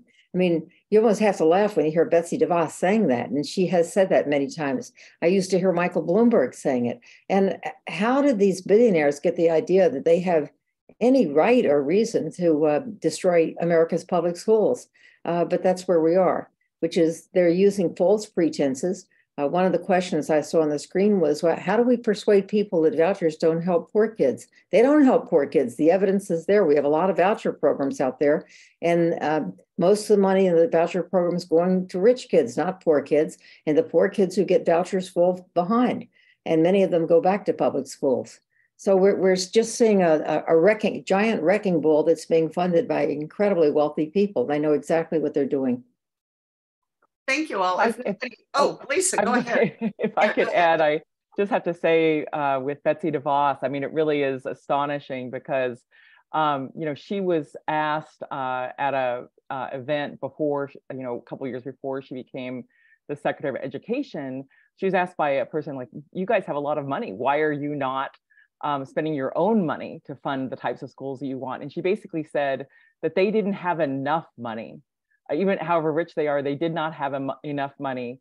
Um, she says there are not enough philanthropic dollars to fund basically what she needs. And so she says, Our desire, this is a direct quote, our desire is to confront the culture in ways that will continue to advance God's kingdom. And then in that speech, um, her husband added how they wanted to have schools that, uh, public schools in essence, that trained people in their religious faith. Um, and they even attacked the idea of public schools claiming that they had supposedly displaced churches as the proper center of American society. These views are certainly opinions that a person can have. They are inconsistent with the Constitution of the United States of America, which expressly prevents there from being an establishment of religion, expressly bars religious oaths for office, and expressly in Article 3 of the Constitution says that the Constitution is the supreme law of the land, not any religious text at all. That's not to say people can't have free exercise. The Constitution protects free exercise of religion. But the idea that our public schools are supposed to become uh, vehicles for Betsy DeVos's personal religious agenda is contrary to our, like our, basically our entire modern history and really the history of public schools in America and why they have been so accessible to people um, from all backgrounds in terms of teaching people the basic information about our society and knowledge, but also um, uh, I think public schools provide a moral education without reference to a specific religious text. Kids are taught not to cheat, not to steal, to treat each other kindly. These are, you know, common universal expectations that you don't need a particular sect of religion in order for kids to understand those uh, basics about being a good society member, being a good citizen, being a good neighbor, being a good friend. Um, but you have people like Betsy DeVos who have tried to distort American policy to achieve that. And she also wrote an op-ed about 20 years ago, right before the dark money. Um, uh, there was an effort through the Bipartisan Campaign Reform Act, BCRA, which is McCain-Feingold law, to contain this dark money. She wrote an op-ed which basically said, of course they want something for their money. They want a return on investment, this isn't benevolence. They want an ROI. Um, and of course, the Supreme Court gave them an ROI and their uh, fellow billionaires in that Citizens United decision that unleashed this wave of dark money. But you know, it's not about uh, the benefit of our society. It's about them trying to impose their own religious beliefs as law and indoctrinate kids in their religious beliefs, and not uh, in an educational system where in which everyone's right to freedom of conscience and their own family's religion is respected versus exalting some over the other, which is what I think that Carson versus Makin decision of the US Supreme Court last year did, is to advance this fundamentalist, regressive, right-wing view that our public tax dollars should in fact be funding schools that are indoctrinating kids um, and indoctrinating things not just in their own religion, but also against the science of climate change, against the reality, accurate teaching of uh, history in America, and more. So I just had to I had to go off, I guess, and and share my thoughts about Betsy DeVos. We there's an article on my old website, PR Watch, five things to know about Betsy DeVos. It's all there with documentation. Yeah. Well, thank so you. I, I just want to throw in, if I may, Sandra, that the Supreme Sure. Court has really uh, paved the way, not with today's decision, but with last year's decision about the state of Maine. Uh, they paved the way to uh, say that states should pay for religious education uh, because uh, Maine has a tuitioning program, and I'm sure Mo knows a lot about this, as does Jennifer, uh, where if there's no public high school in your district, you can go to a private school as long as it's not religious. You can go to a private school and the state pays, I don't know, all or part of your tuition. And so this, the, there was two schools, evangelical schools in Maine that said, this is not fair because why shouldn't students be able to come to our two schools uh, and have the state also pay for their tuition? And the, the Supreme Court ruled that uh, in fact Maine would have to pay for their to, uh, for kids who go to the, these particular two schools. Problem is they only accept students of their own faith. They do explicitly exclude students who are LGBT. Uh, and if you're not a member of their faith community, you can neither be a teacher nor a student there. And so Maine is in the process of trying to pass an anti discrimination law so that if they have to give money to these two evangelical schools, uh, that these schools would have to stop their discrimination. But in the meanwhile, the Supreme Court is allowing these programs. I mean, we have voucher programs all over the country that would have been unthinkable 20 years ago. The Supreme Court was a rock in saying that there had to be separation of church and state. And now we're seeing that separation whittled away, and the Establishment Clause is giving way to the uh, Freedom of Religion Clause, where people say, I can't be free to practice my religion unless I'm practicing it in, the, in a religious school. And yeah, uh, here's the issue for me I'm all, I'm all for school choice if you pay for it yourself. I don't care if, if people want to send their kids to religious school, that's okay. They should pay for it. If they if they want to use their local public school, the public will pay for it. But um, private choice is private money. Public choice is public money. It's really about who pays for it, not what they do at the school. That's a good way for us to end the roundtable and get in. We have a whole slew of questions. I know people are eager to have their questions answered. So uh, first of all, I'd like to say it's been a privilege to hear our, our expert panelists share their insights and we're really looking forward to getting more information through our questions. Um, I have asked my National Affairs Committee colleagues, Sherry Horowitz and Andy Scalise, to monitor the Q&A box throughout the program, sorting through and selecting some of your questions to ask the speakers. They will also ask some of the questions prepared by our committee. There clearly won't be enough time to ask every question. They're going, they will try to identify those that are on topic, not duplicates, and that address aspects of the issue not yet considered. Sherry and Andy, I may break in from time to time, and I certainly will let you know when it's time to ask the last question. Sherry will conduct the first and Andy the second half of the Q&A. Let's begin your half of the Q&A, Sherry. Please take it away. All right. Um, first, someone at the very end asked, since there's so many questions and they probably won't all get answered, could they be sent to the uh, panelist for maybe answering later? So I'll throw that to you. You can address that whenever you want. Um, there were a number of people who were asking about Virginia Governor Glenn Youngkin's education agenda. Um, so I'm going to throw this to uh, Dr. Berkshire. You've written about Virginia Governor Glenn Youngkin's education agenda. Would you please share your analysis and connect the dots to the national right-wing education strategy that we're exposing in this forum? Yeah, thanks. Um, so one thing that has driven me um, pretty close to the edge, I'll admit it, is that I feel like the analysis of what happened in Virginia has been so inaccurate and just repeated again and again. And so the official take after the election was that that Youngkin won because of uh, backlash over CRT. That that was really a big piece of it. And but if you actually paid attention to the race and listened to how his advisors talked about it, he very skillfully put together a coalition that included folks in rural areas who were really worked up about the litter boxes and the CRT, but also he spoke relentlessly to parents who were concerned about the quote unquote war on merit. The idea that if you change the admissions policy for the elite magnet school, that their kids were going to uh, to pay a price for that and that he would restore a merit-based policy. And what he did that worked really well is he figured out a way to uh, put those people, those diverse groups of people together and it made a difference. So what does that tell us? Well, one thing, I think one heartening thing is that Republicans don't appear to have learned anything from that at all. If you listen, if you tune into the Moms for Liberty Summit this weekend, you will not hear anyone talking like Youngkin did because they have now moved to such an extreme uh, direction. Now, Youngkin has tried to sort of keep up with them and his his uh, policy on trans kids in schools. That someone I saw this question in the uh, earlier, someone referring to it as bullying, and it's absolutely the case, right? That what he is doing is elevating a particular group of parents who have the ability to override other parents. And so, if you're the parent of a child that decides that they uh, they want to change their pronoun, what matters so much isn't your opinion and knowledge, but whether some other group of parent organized into the kind of group that we've heard so much about. So I think the other thing that we have to pay, think about in terms of Youngkin's win and his platform is frankly what a dud of a candidate he beat. And I don't live in Virginia, so I can just blurt stuff like this out. But you know, here we have uh, here we have Terry McAuliffe, who sent all of his kids to private school. And how is he going to be the warrior that we need for public education when he's not invested in it himself?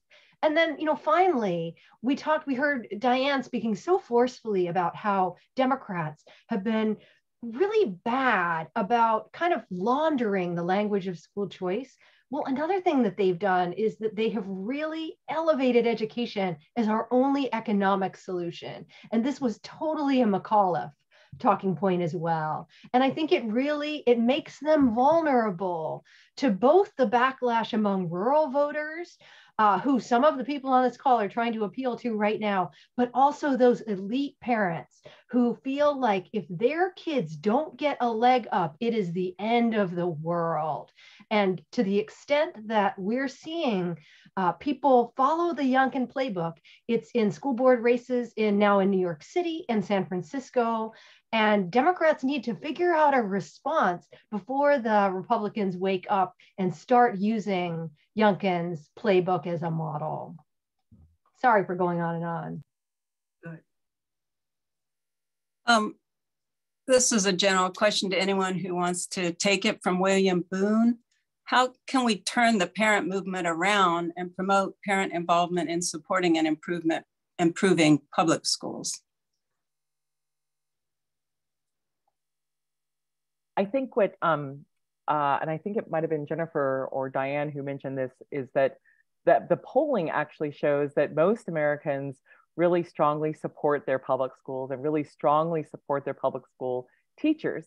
They're just not the squeaky wheels getting on the evening news with these sort of planned attacks on school boards uh, where you have sort of a squeaky wheel situation where there are parents who, um, you know, may have their own legitimate uh, grievances, or they may be people who are associated with some of these right-wing groups, or using the talking points these right-wing groups to attack the school boards, and they're the ones getting the public press.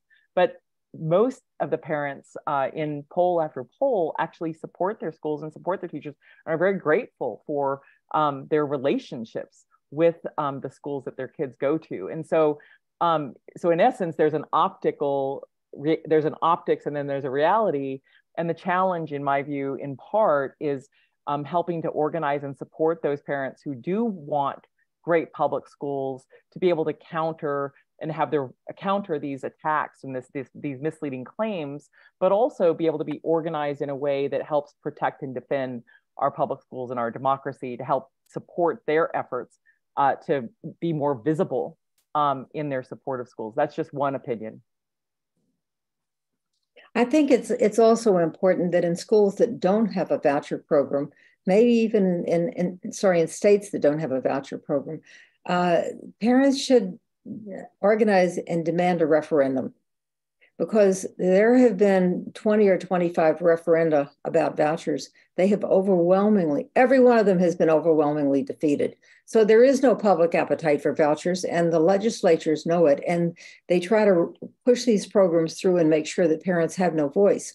Uh, and I think that the if we talk correctly to parents, they will understand that they have power, they have many allies, and they have to get organized and say, we want to get on the ballot. That's the thing that the right wingers hate the most. Uh, there was going to be, Betsy DeVos was pushing uh, to pass a charter bill in Michigan in the last election, which was overwhelmingly, her, her bill never came to a vote because she was terrified of having a referendum. She was afraid that if her bill didn't pass, uh, there might be a referendum. And the referendum has always gone out like 75 to 25, 80 to 20 against vouchers. And she didn't get her bill through, and there will be no, this governor, Gretchen Whitmer, is not going to allow an expansion of vouchers. But there's parent power, and parents have to have to be uh, organized and have to have leadership. Um, you, you talked about the problems with the uh, charter schools not being regulated. Are there any efforts to pass legislation to regulate them that you're aware of, or should there be a push for that? Jennifer, do you want to talk about that? Well, it, there was some more Supreme Court news this week, and actually, the Supreme Court declined to take up a case that that the right has been a tremendous coalition of people on the right have been supporting that would have declared that charter schools are quote unquote non-state actors meaning that for all we've heard about them being public schools that they are actually private. Now this is not over. And so the like part of what we're seeing is an effort to deregulate charter schools. And to the extent that the schools are effective it's because they're they're well regulated. So for example where uh, where mo and i are in Massachusetts um, it's it's actually it's quite difficult to open up a charter school. And so you have this tension between the vision of unfettered expansion coming from the right and then what it actually takes to make these schools effective. Because if they're just left to their own devices, you end up with a situation like you have in Detroit, where schools are opening and closing all the time. And the result is just a tremendous situation of instability that's horrible for kids. And so I would recommend, I know there's a big debate, there's a push underway in, in Virginia to open so-called lab schools. So absolutely take a look at the, uh, the kinds of regulations that are necessary in order to keep schools from, from opening and closing and also or never opening, right? And the other thing that charter schools do, which you're probably aware of in, in Virginia, we see this in New York all the time, is that they choose their students and they choose their families and they're very careful. I mean, our most successful charter chain in New York has tremendous attrition. Uh, it started, its first class had 100 kids and 16 of them graduated. And every year, uh, the same thing happens. They the kids arrive, they accepted by lottery, and they get rid of them. And they push out some that have disabilities, and they push out others that are troublesome. And then they boast about their test scores of those that survive. The other problem that they have is tremendous teacher turnover up to 50% of their teachers every single year is a new it will be a new teacher. So charters need regulation and, and it would be better for the charters if they were regulated. Uh, and every state has its own set of regulations. It's different everywhere. Uh, and arizona for, in texas are like the wild west and there's almost no regulation. And people do self-dealing they they have family members on the board of trustees one charter chain in, in arizona uh, had only one member of the board of trustees himself he was also a member of the legislature. So it, it, the, the, the, the hits never stopped coming. Thank you all. I'm going to uh, close out Sherry's portion and uh, move over to Andy. Would you continue with your questions? Thank you, Sandra, and thank you to our panel.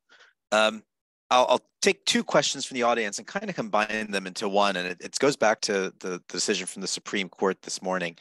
Um, the, does the decision in this in the case this morning uh, how is that likely to then be used to affect kind of the, the local high school level like um, in obviously in Fairfax County we have Thomas Jefferson High School and other magnet schools that have very selective admissions processes and does and how are we going to now how are they going to use that ruling to kind of change the let's say the progressive emissions process that we have there?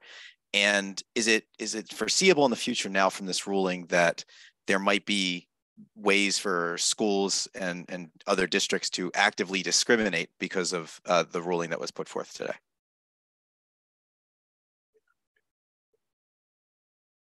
And this is for anybody on the panel. Well i can tell you that in new york city we have several uh, very selective high schools, and they have only one way to gain admittance, and that's through one test given on one day. And they have very, very, very few Black and Hispanic students. And despite the fact that New York City is very liberal, New York State is relatively liberal, uh, the legislature simply will not change that one test only. And I think that I don't know what Thomas Jefferson's requirements are, but I assume it's more than one test on one day because this is why our selective schools are overwhelmingly, uh, predominantly Asian and uh, uh Asian and white, with maybe three to four percent uh, who are Black kids. Uh, and this is unhealthy. So I, I, don't think it'll have much effect on Thomas Jefferson per se, but I would hope that your admissions requirements would be uh, more diverse than just a single test. I saw a lot of people sort of breathing a sigh of relief after the decision today that they appeared to leave out K 12 uh, but to me, that feels like a very temporary repeat, uh, reprieve. The um, the uh, I'm not sure what the what is the status of the court case about admissions at TJ right now. Can can you fill us in? I'm not completely familiar with where we are on it right now, but I do know that there has been a lot of back and forth, and it is obviously a very controversial and concerning issue around here. We know that the admissions uh, the changes in the admissions policies have led to a much better increase in the diversity of of the enrollments, and that's and that's our concern is losing that now because there's theoretically or or is there precedent for it. So the there is this issue is not going away and it's not going away for for several different reasons one of them is that what i was talking about that there's this tremendous energy on the right to roll back the entire architecture of civil rights. And so you will hear them talk in this very sort of anodyne way about, oh, we're just restoring merit, we're just elevating merit. Um, but the, you know, the idea is that any effort made by any organization or institution to affect a level of equality is unacceptable. So that's reason number one. Reason number two is that it's politically explosive and it it actually it works for Republicans to the extent that the that the culture wars are resulting in electoral gains for Republicans. It's not the slash and burn moms for liberty stuff. It's this it's the it's campaigns run on you know you're this democratic school board person wants to water down merit. They don't think academic achievement works. And so not only are we going to see this but democrats are going to have to figure out a better way to respond to it because until they do it's you know like think about the amount of ink that has been spilled in virginia just on on debating this and it's nowhere near resolved. Oh i'd like to jump in. One of our attendees who's an attorney that i know someone on this call knows kristen cabral commented that the federal appellate court reversed and ruled for the fairfax county public schools. Yeah. So go ahead andy. I just wanted to add that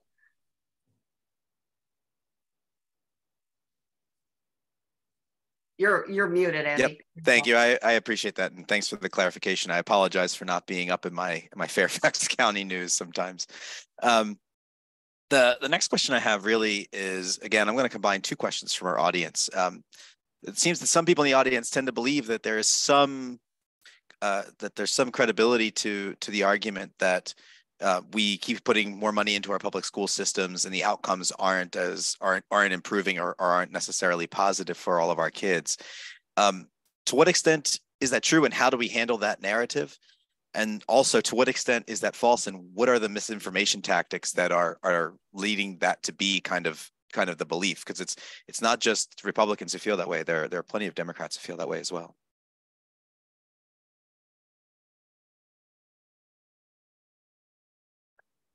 Well, for what it's worth, I wrote a book uh, that came out in 2013, and I don't think it's been disproven.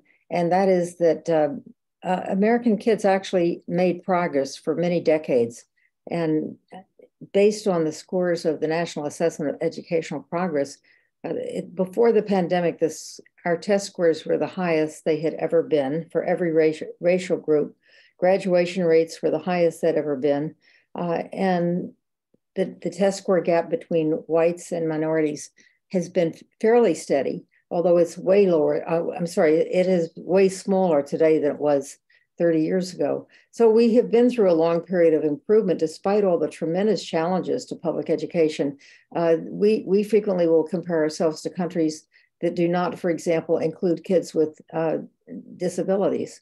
Uh, and they, they have, I remember when I was visiting Russia, they have something called the Department of Defectology that studies the kids with disabilities. And they, they're not mainstreamed. And in many countries, they're not mainstreamed. And a lot of the costs that, uh, that you see going up and up are the cost of incorporating kids who previously were not allowed in. Uh, and so we have the cost of bilingual education, the cost of special education, and uh, we're still, despite the rising costs, uh, there are many states that are spending far too little uh, and not spending enough on teacher salaries, for instance, or on reducing class size. These are very effective ways to improve achievement. So the the I love that question because the answer to it was right there in that Cato Institute chart that I showed you. It shows just how effective that that message has been. And you know, I would encourage when you hear that, I would want to know, and this is partly because uh, because I'm a journalist. I would want to know when I hear that from a Democrat or a Republican, what is their vision of why we have public schools?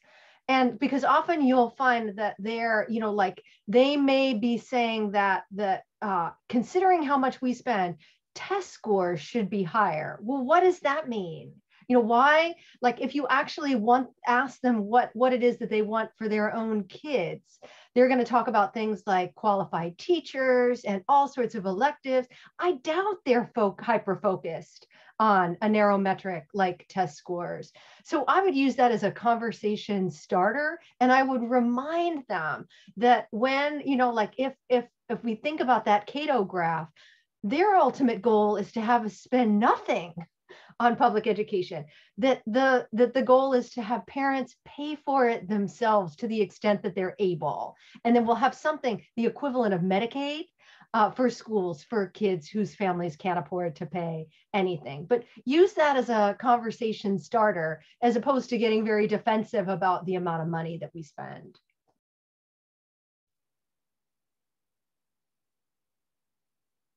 Andy, you're on mute.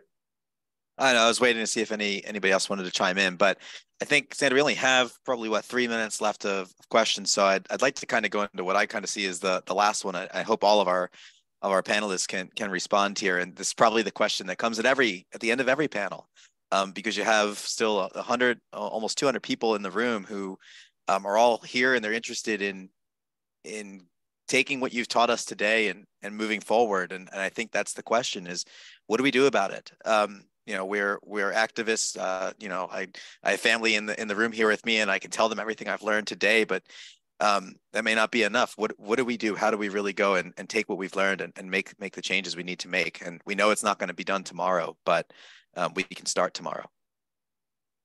Well, you could begin by electing people to your legislature who are committed to the public schools. Uh, and, you know, it just, to me, it makes no sense to say, uh, we have this pie and let's divide it up three ways. And in all three sectors, I, I think of Milwaukee, for instance, which has public schools, vouchers, and charters they all do very poorly and they all do about the same. And I think to myself, why wouldn't they just combine them all and call them public schools and have strong neighborhood public schools? And I think about, for example, what we consider the best education system in the world is Finland. And Finland has no private schools, it has no charter schools.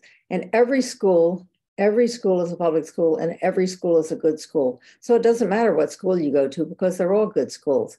And I would think we would have that as the ideal for what we want in our country. What every school you want to go to is a good school.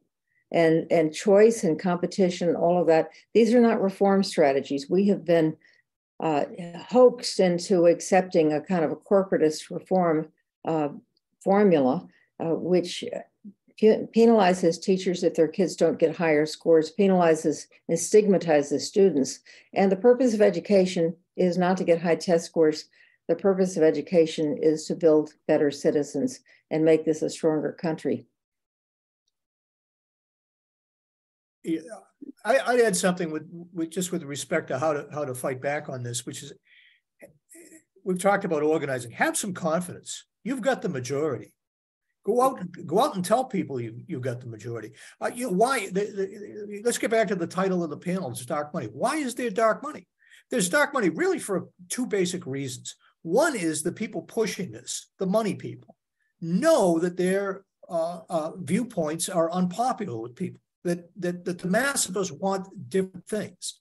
And the second thing is they know that we get suspicious when we find out that it's really, you know, not moms for this or parents for that. It's Walton, it's Koch, you know, it's it, it's it's the folks funding City Fund and other operations like that. Uh, and so have some confidence that if you you organize, if you talk to your neighbors, you'll go out there and beat these folks. They've got a big megaphone because it's because it's it's money behind it but you can absolutely go out there. Jen did a piece not long ago about, I think it's the Jacksonville mayor thing. First time a Democrats won Jacksonville mayor in I don't know how long, a DeSantis back person, but all wrong, all wrong. And the Democrats went out and beat that person. It's happening to Moms for Liberty. Moms for Liberty got clobbered this spring in, in school board races. And that's going to happen again and again if we stand up to them. I want to go next because I want to give Jennifer the last word and not be the last word, if that's all right, Jennifer. if that's okay.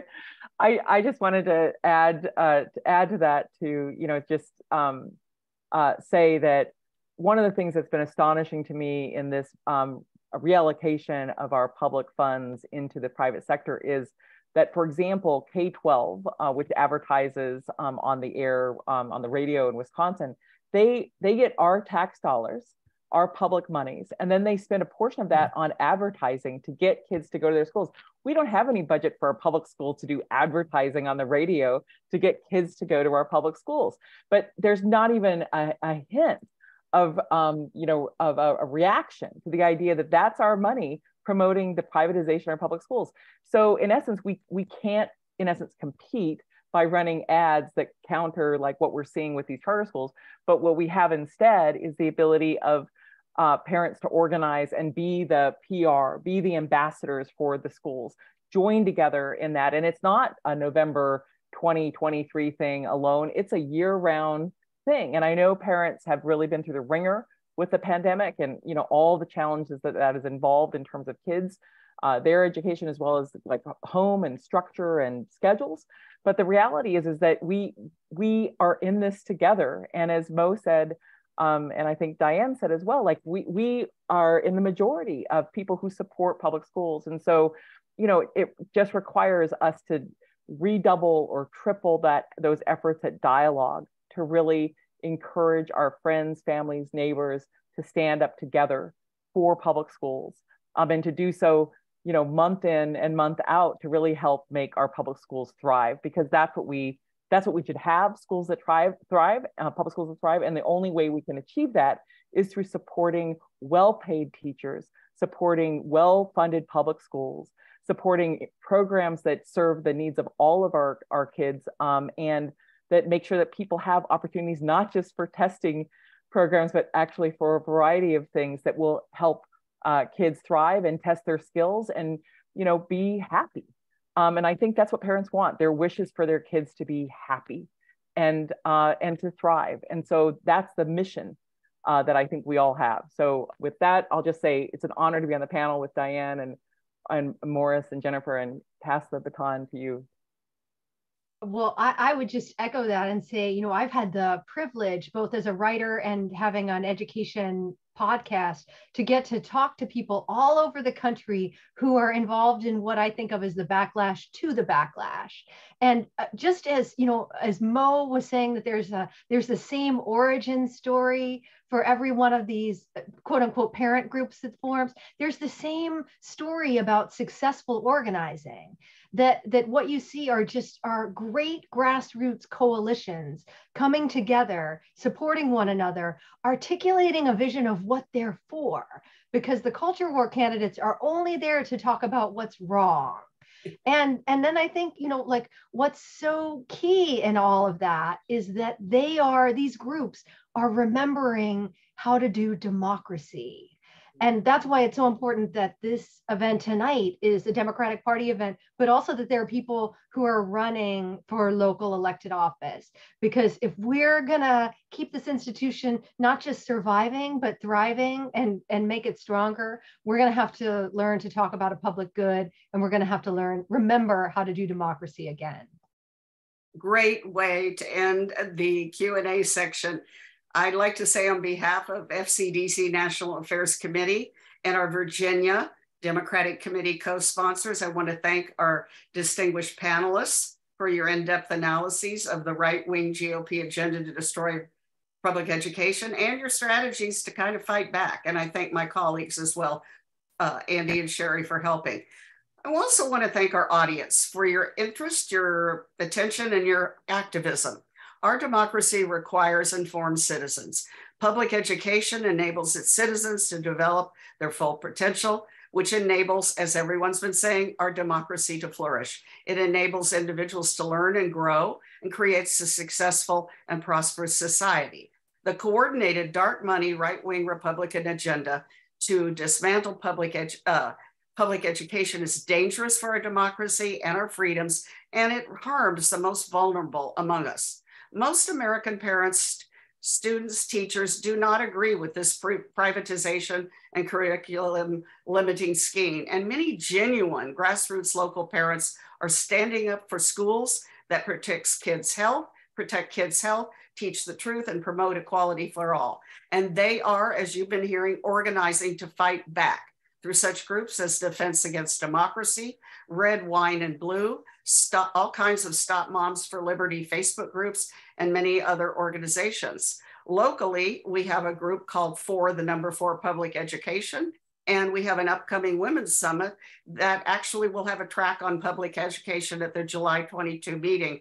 Uh, please join the fight. Don't fall for the ginned up right wing culture war traps. When confronted by them, pivot, reframe, and explain the elements of the real right wing agenda to dismantle public education that imperils our children's future, our society, and our democracy. I'd like to end with some good news from Virginia, where on June 24th, the Democratic Party of Virginia took an important and timely counteroffensive action by ratifying a resolution entitled the Democratic Party of Virginia condemns the right wing, dark money funded Republican agenda to dismantle public education, divert public education funding to private education management, and eliminate critical thinking and evidence-based curricula. That completes our forum. We thank you for joining us. Keep fighting. Uh, we wish you good night.